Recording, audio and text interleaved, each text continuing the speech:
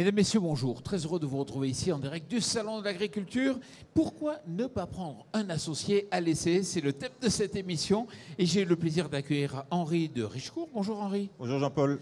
Alors vous êtes cofondateur de Triple Performance. En deux mots, c'est quoi Triple Performance? C'est une plateforme de partage de connaissances et de retour d'expérience pour permettre aux agriculteurs, grâce à la magie d'Internet, de, de comprendre les possibilités qui s'offrent à eux dans tous les domaines qui sont les cailloux dans les chaussures des exploitants, des et agriculteurs. On, et on vous consulte comment?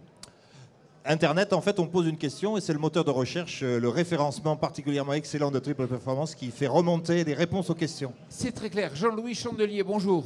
Bonjour Jean-Paul. Vous êtes euh, directeur de GAEC et Société. Il faut expliquer GAEC et Société. Alors GAEC et Société, c'est une organisation professionnelle qui date des années 60, voire même un peu avant, et qui a été constituée par les quatre euh, organisations professionnelles agricoles principales, euh, Chambre d'agriculture, syndicalisme agricole jeune et aîné, et euh, CNM-CCA, c'est un peu barbare, c'est le crédit agricole, la coopération et le crédit. Et dans l'objectif de s'occuper, de développer des sociétés en agriculture. Oui, parce que c'est important de comprendre la bonne structure, c'est ça Et d'apporter les services Expliquez-moi un peu. Exactement, c'est- trouver la bonne structure pour le bon projet, Voilà, ou le ça. projet commun de plusieurs agriculteurs. Et il faut qu'il y ait une bonne adéquation et on sait que les structures doivent évoluer dans le temps et justement, on va en parler avec Cyril Couder. Bonjour Cyril. Bonjour Jean-Paul. Cyril, vous êtes agriculteur sur la ferme du Castérieux Oui, à Orlex. Orlex, je connais bien, c'est un département que j'aime bien, les Hautes-Pyrénées. Qu'est-ce que vous produisez sur la ferme? Alors on est exploitant en polyculture élevage, bovin lait, ovin lait, avec transformation en fromage, donc le castérieux. Et on est un GAEC donc de 4 associés, bientôt 5 avec moi courant l'année, 6 salariés. Voilà. Donc une belle structure qui a su diversifier et transformer pour sécuriser. C'est ça, les tout à fait. Tout à fait. Euh, bon, le GAEC a beaucoup évolué puisqu'il a 36 ans maintenant. Euh, on est monté jusqu'à 8 associés sur la ferme. Euh, là, on a rediminué, on a un recherche associé aussi parce qu'il y a les départs à retraite. Et on a un concept qui est un petit peu peut-être atypique, euh, qu'on va discuter tout à l'heure, voilà, où euh, on permet la possibilité de nouveaux associés de rentrer avec une sorte de contrat de travail, entre guillemets, j'ai appelé, où ils s'engagent sur 5 ans avec nous sur la ferme. Et si au bout de 5 ans, ils décident ben, de voir autre chose ou si ça leur plaît plus, ils peuvent partir en, en espérant trouver un autre associé derrière. Mais Cyril, c'est super intéressant et à la fois très peu fréquent euh, d'avoir cette culture de l'ouverture du capital des associés. Déjà de façon globale, on ne parle pas encore de l'essai.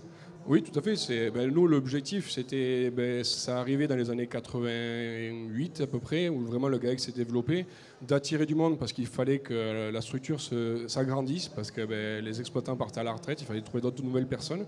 Et donc c'est pour ça qu'ils ont ouvert la possibilité vraiment à, d'autres gens de venir et de travailler donc pour, euh, en- vraiment en cohabitation. Sachant que nous, encore actuellement, sur le GAEC, chaque associé gère vraiment un secteur. On- alors on peut appeler ça comme une micro-entreprise. Chaque secteur vraiment se gère autonome. Et on fait un point tous les mois où on, vraiment on se réunit, on fait un point financier. Bon, on se voit bien sûr tous les jours, mais vraiment il y a une réunion tous les mois. Et le but vraiment c'est de cohabiter comme ça, euh, en étant quand même autonome sur chaque secteur. Ça c'est important. Ça marche bien? Oui, économiquement, très bien. Alors, il y a eu des difficultés, mais on s'en sort. sur le plan humain? Sur le plan humain, c'est là où je trouve que c'est le plus attirant parce que justement, on a des personnes qui sont même hors cadre familial, comme moi, euh, notre associé aussi. Euh, savoir qu'on est basé dans les Hautes-Pyrénées, mais les quatre associés actuels, aucun sont des Hautes-Pyrénées. On a deux Vendéens, un Basque, un Breton. Voilà. Et vraiment, euh, c'est vraiment ce qui m'a attiré dans ce GAEC, c'est qu'il il y a vraiment une discussion permanente, on s'entend vraiment super bien et on avance comme ça. Ça veut dire que quelque part, vous cassez un peu tout le côté traditionnel euh, de la structure agricole, où on imagine une famille, euh, des générations, des successions et transmissions. Tout à fait. Ben, c'est parti de M. Alain Gibault, donc, le- son père était le créateur de la ferme. C'est quelqu'un qui a toujours été euh, ouvert euh, aux autres personnes. Et lui, dès le moment où il est arrivé, il a dit euh, si on veut évoluer, il faut qu'on ouvre. On trouve dans notre famille, les enfants ne voulaient pas reprendre la ferme parce qu'ils ont, ils ont vraiment changé de voie. Donc, il était hors de question que la ferme s'arrête.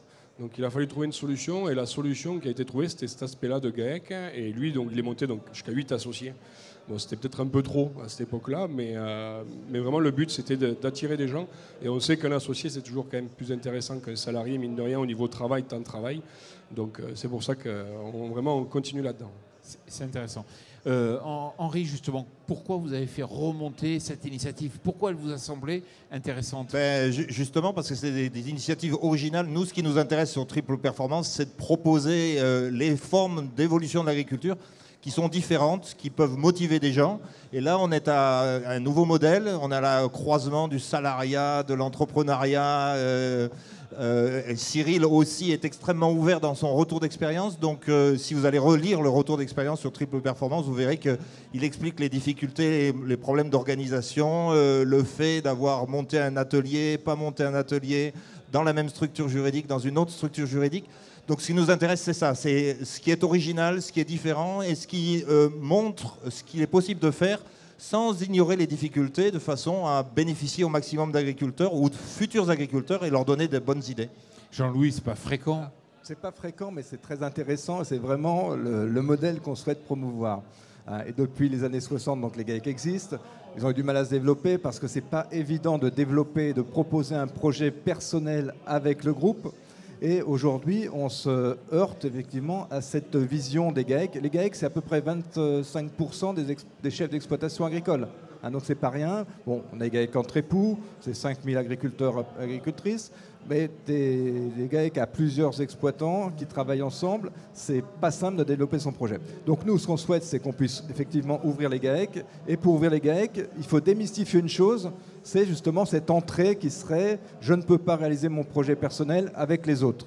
Et donc pour ça, on a développé, et ça date maintenant de, quelques années, et ça se fait en Haute-Savoie, où il y a une fédération des GAEC très active depuis à peu près une trentaine d'années, la notion de GAEC à l'essai.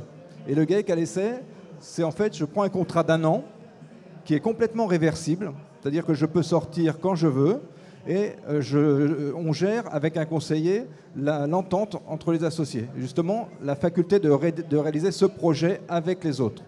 Il y, a, un- il y a un minimum de cet essai ou bien euh, Il n'y a pas de minimum. totalement- Il n'y a pas de minimum. C'est-à-dire que la réversibilité, elle fait partie intégrante du test. C'est-à-dire qu'il n'y a pas d'échec en fait. Et parce que le risque, c'est l'échec. Le risque, c'est de s'installer en prenant des parts de capital et puis au bout de quelques mois, de s'apercevoir que ça ne colle pas. Et y compris en famille. Et là, justement, ce risque est complètement éliminé. On a un statut de droit à l'essai qu'on souhaite d'ailleurs, j'y reviendrai, mettre en place au niveau législatif. Et ce statut de droit à l'essai, qui peut aujourd'hui se, se- conduire également, ce statut de droit à l'essai permet de dire, ben, au bout de un mois, deux mois, trois mois, ça va pas, ben, je ne me sens pas, je ne pourrais pas développer mon projet, je pars. Il n'y a pas de conséquences financières, il n'y a pas de conséquences euh, ni en plus psychologiques, je ne suis pas associé non plus. hein, et donc, je pars euh, la tête haute parce que je sais que mon projet, je l'ai essayé.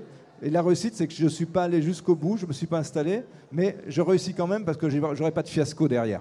Et ça, c'est quand même intéressant. Oui. Euh, J'aurais juste une question par rapport à, ce système à laisser. Euh, nous, pourquoi en fait on, a basculé sur un aspect de contrat de 5 ans, entre guillemets? C'est qu'avant, justement, ils étaient, euh, on va dire, la personne arrivait sur la ferme, si au bout de euh, un an, elle se sentait plus, elle pouvait partir. Ça, on l'a arrêté juste parce que nous, c'est au vu financier, sur le long terme, en fait. C'est compliqué de, de se projeter, en fait. C'était ça l'inquiétude. C'est pour ça qu'on a fixé un, un aspect de 5 ans. Et quel- enfin, comment vous pouvez interagir là-dessus? Parce que moi, c'est ça qui me fait peur. Je veux bien partir sur un gars à laisser, mais euh, comment je me projette sur l'avenir? Bon, nous, l'intérêt, c'est on a fixé 5 ans, mais le but premier pour moi, par exemple, c'est d'être euh, une longue carrière à la ferme, bien sûr, euh, pour avoir une optique. Mais comment vous voyez ça? Je pense qu'il y a deux sujets qui ne sont pas identiques. Il y a le premier sujet qui est d'attirer des jeunes et de dire voilà, il y a des places dans les GAEC pour travailler avec d'autres et développer ton projet personnel avec d'autres. Donc, ça, c'est ce que je développais. Et après, il y a une autre problématique qui est exactement celle que tu développes c'est je veux dire, je ne veux pas être agriculteur toute ma vie. Je veux être agriculteur pendant 5 ans, 10 ans. En tout cas, je veux pouvoir me reposer la question au bout de 5 ans, au bout de 10 ans et de façon régulière. Et tout ça en ayant conscience que le projet commun, celui du groupe du GAEC, ce projet commun doit vivre et qu'il a besoin de financement, de remplacement, etc. Et donc, c'est pas facile. Mais là, on répond à une problématique qui est, qui remontée fréquemment et qui remonte aujourd'hui fréquemment, qui est de dire je ne veux pas être agriculteur toute ma vie. Et là, on a, nous, à travailler au niveau juridique, au niveau humain, pour proposer des solutions, et des solutions financières notamment, pour permettre la réalisation de ce type de projet. Et ça, ça c'est l'une des clés qui fera que demain, on aura encore des agriculteurs. Cyril, quels sont les points faibles et les points forts de cette démarche? Alors, les points faibles, justement. Objectivement. hein. Moi, j'en parlais juste un instant, c'est le point de vue financier qui fait très peur parce qu'aujourd'hui, il faut essayer d'avoir une vision sur du long terme, sur, encore plus maintenant avec tout ce qui se passe. Et euh, c'est c'est vraiment ça qui peut faire peur, en fait, qui, qui vraiment euh, pose un point bloquant, moi, je trouve. Mais justement, euh, sur cet aspect financier, euh, les, les banques aident à l'installation ou à la mise à disposition de ce capital pour devenir associé ou comment ça se passe? Oui, les banques, elles aident. Mais, euh, mais après, même nous, au niveau du, du GAEC, euh, il faut qu'on arrive à s'entendre, à se dire, bon, ben, la personne, peut-être dans 5 ans, elle s'en va. Et ça, c'est difficile au niveau de la perspective.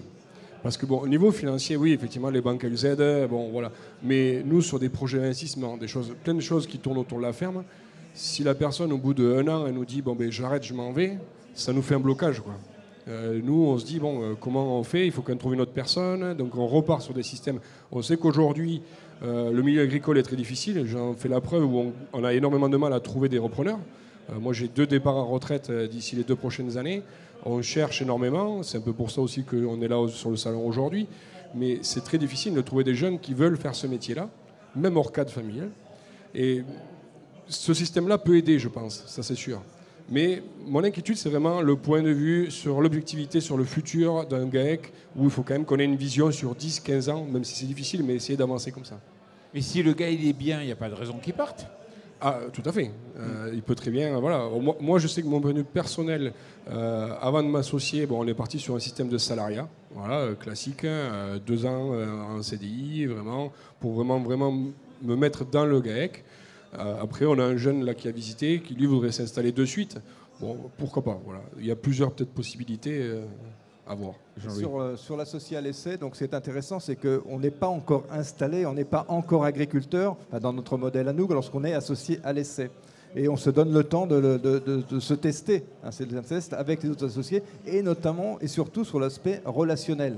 Parce qu'on s'aperçoit que c'est sur ce sujet-là que souvent ça ne colle pas.